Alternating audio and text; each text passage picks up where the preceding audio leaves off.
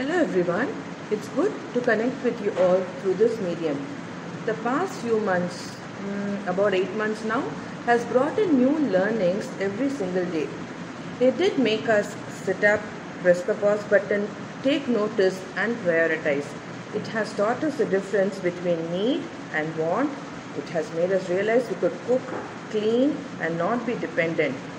It has taught us to navigate and circumvent, find new solutions to existing problems, and also has made us realize a lot of work could be done remotely.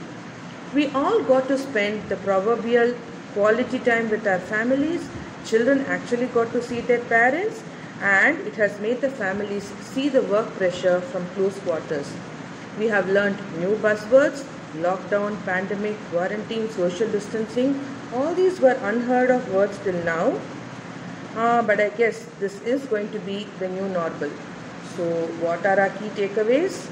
Life is precious. So, do take care of yourself and others around you. Remember, not everyone has been lucky. Teach and practice empathy. Be kind and teach your children to be kind and let them see you being kind to everyone. Express gratitude and appreciate people. We do tend to take the people around us for granted. So do spare a moment to ask how the day has been, not only to your family members, but to also the people around you, be it your building security person, your maid, driver, milkman, grocer, your newspaper delivery boy, vegetable vendor.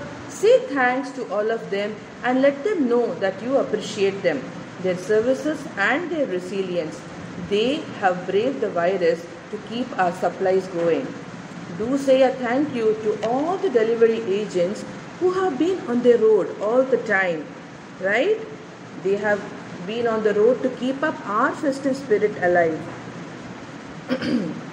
um, please do support the taxi drivers and cab drivers and auto drivers who have lost their livelihood. Please understand that every life has been very precious. Spare a moment to smile at everyone you meet. Each and everyone is fighting their own battle. You could be the sunshine they need that day. So pick up the phone, call the people you haven't kept in touch in a while. A small hi could make their day. Reconnect and recollect your happiest moments. So till we meet next, stay safe, stay home and spread the happiness around. Thank you.